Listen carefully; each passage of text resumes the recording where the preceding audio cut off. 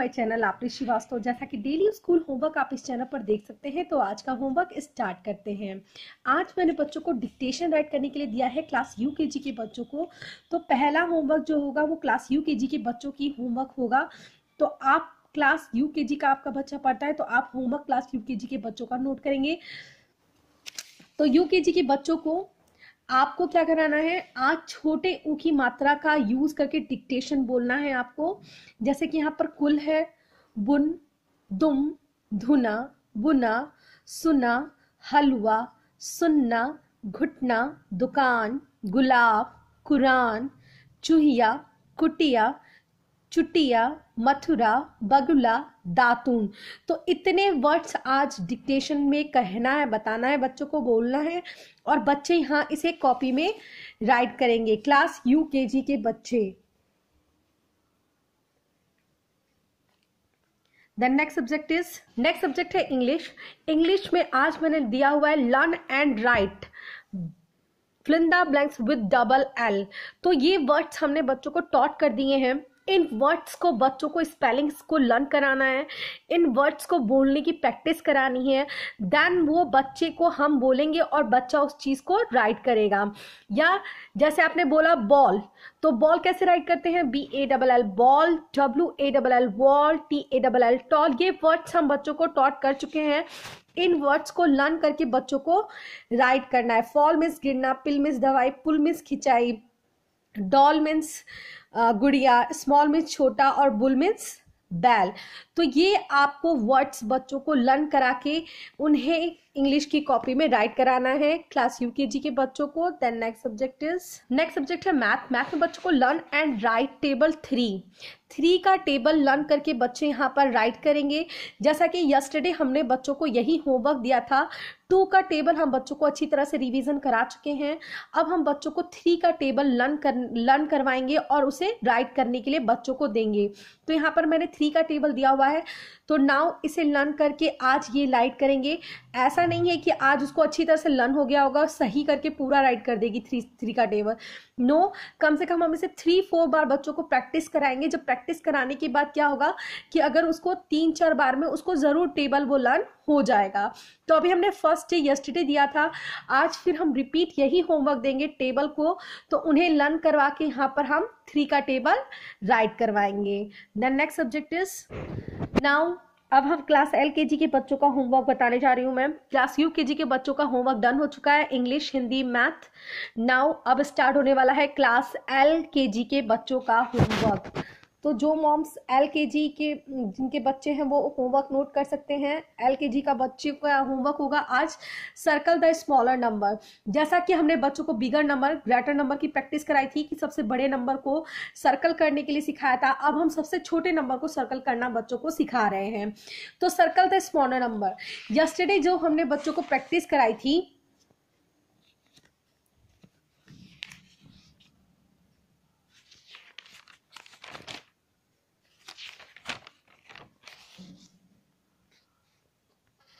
Yesterday हम लोगों ने बच्चों को स्मॉलर नंबर की प्रैक्टिस कराई थी, और टुडे हम उसको रिपीट होमवर्क में यही देंगे। तो यहाँ पर फोर थ्री वन है तो स्मॉलर नंबर जैसे बताया था ग्रेटर नंबर को आप वन से लेकर टेन तक नंबर को राइट कर देंगे, और उन नंबरों को देख करके बच्चा पता करेगा कि कौन सा कितना ग्रेटर है। मतलब आगे नंबर चलता जाएगा one two three four five six seven eight आगे जब नंबर चलता है तो ग्रेटर नंबर होता है और जब वही चीज़ पीछे से स्टार्ट की जाती है ten nine eight seven six five तो इस तरह से बच्चे को स्मॉलर नंबर की प्रैक्टिस करानी होगी। तो अगर अभी आप सिखाना शुरू कर रहे हैं तो आप नंबर ज़रूर राइट कर लीजिए और बच्चे को उस चीज़ को दिखाइए। अगर आप नए चैनल पर हैं तो प्रीवियस वीडियो देखिए जिसमें मैंने स्मॉलर नंबर किस तरह से आपको बच्चों को सिखाना है, वो बताया हुआ है। तो आज का होमवर्क नोट डाउन करेंगे आप। क्लास एल के बच्चों का homework four three one six five two 897 763 and 459 876 the next subject is next subject है इंग्लिश इंग्लिश में बच्चों को use of this and that का हमने यस्टरडे ये कराया था. दिस एंड दैट बहुत ही अच्छी तरह से बच्चों ने किया था. और आज हम पूरा सेंटेंस बच्चे को राइट करने के लिए देंगे. तो दिस और दैट कंप्लीट करने का सेंटेंस जब आप बच्चों को सिखाएँगे तो ये बहुत ईजी हो जाता है. कोई डिफ़िकल्ट नहीं है इसमें. बच्चे के लिए डिफ़िकल्ट जब होगा, जब उसको आप ये स्पेलिंग नहीं आती होगी। तो जो पिक्चर्स आपने मेक की है, वो आप श्योर होइएगा कि वो पिक्चर आपके बच्चे को उसकी स्पेलिंग लर्न है या नहीं। जैसे कि मेरी डॉटर को डॉल की स्पेलिंग लर्न है तो डेफिनेटली उसके लिए सेंटेंस बहुत इजी हो जाएगा। कैसे सेंटेंस इजी हो जाएगा? देखिए दिस की स्पेलिंग मैंने उसको पहले ही लर्न कराई थी तो दिस इज़ एस इज़ लगा सकते हैं। ए क्योंकि यहाँ पर डॉल है तो यहाँ पर डी आ रहा है तो डेफिनेटली वो ए ही यहाँ पर यूज़ करेगी। तो पहले वहाँ डॉल राइट करने के बाद मैं उसे बताऊँगी कि बेटा यहाँ पर आपको आर्टिकल यूज़ करना है, और आर्टिकल क्या यूज़ करेंगे आप? ए या एन तो आपको अपने माइंड से यूज़ करना है, क्योंकि डॉल है यहाँ पर तो आपको खुद रिकोगनाइज हो जाएगा कि डी कॉन्सोनेंट है तो what will use here you will use here a because यहाँ पर डी है कॉन्सोनेंट है तो आर्टिकल क्या यूज़ होगा? ए यूज़ होगा। तो दिस इज़ ए डॉल ये तो आप बिल्कुल भी वरीड वरीड ही होएगा कि मेरे डॉटर तो बिल्कुल नहीं कर पाएगी। तो ये बहुत सिंपल होता है। सबसे पहले आपको दिस की स्पेलिंग लर्न करानी है। T H I S this जब दिस की स्पेलिंग बच्चे को लर्न हो जाएगी तो ये इजी हो जाएगा सेंटेंस बनाना। फिर क्या होगा? Is I S is this is अब क्या हम करेंगे? डॉल की स्पेलिंग राइट करेंगे। D O double L doll क्योंकि डॉल की पिक्चर पिक्चर वही मेक कीजिएगा आप, जो आपके बच्चों को उसकी स्पेलिंग पता हो। अगर आप अदर पिक्चर मेक करते हैं तो वो डेफिनेटली नहीं कर पाएगा। तो पिक्चर ऑलवेज वही मेक करनी चाहिए, जो कि बच्चे को उसकी स्पेलिंग पता हो। तो दिस इज़ अब मैं यहाँ बोलूँगी, बेटा यहाँ पे एक आर्टिकल यूज़ होता है। तो डी इज़ वॉवल या consonant consonant so what will use here a article a आपने क्या, आपने पहले बच्चे को लर्न कराया दिस की स्पेलिंग इसकी स्पेलिंग और डॉल फिर आपने बताया कि बेटा यहाँ पे आर्टिकल भी बिटवीन में यूज़ होगा.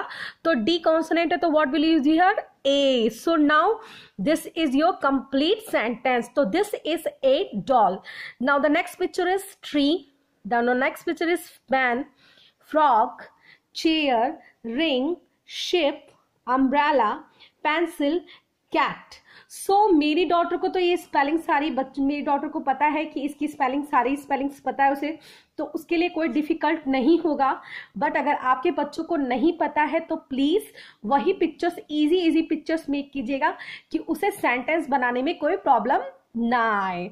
सो आई होप आप अंडरस्टूड हो गए होंगे कि आपको ये सेंटेंस किस तरह से यूज़ करना है. This is a ball this whatever जो भी चीज़ें हैं, यहाँ मैंने ये दिया हुआ as you can see in this step बच्चे को कंप्लीट यहाँ पर करना है. Then next subject is next subject है हिंदी. हिंदी में है चित्रों को पहचान कर नाम लिखने के लिए है.